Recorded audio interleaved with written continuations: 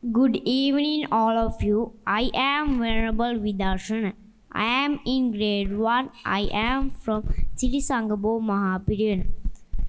First of all, I would get permission from Most Venerable Mahanayaka Theros, Venerable Nayaka Theros, Venerable Mahasangha, dear teachers, members of Colombo YMBA, and my dear fellow students. Today I am going to speak about my Piruvan.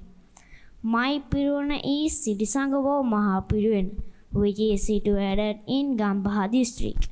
As I think my Piruvan is one of the most popular Piruvans in Sri Lanka. There are more than 80 students in my Piruvan. We can see seven teachers here and they teach very well. The principal of my Piruvan is Most Venerable Sumana Thero. He is good as well as he is kind. Our Piruvan has become popular all over the country of students. Today I first of all our Piruvan has become popular all over the country of students who work hard.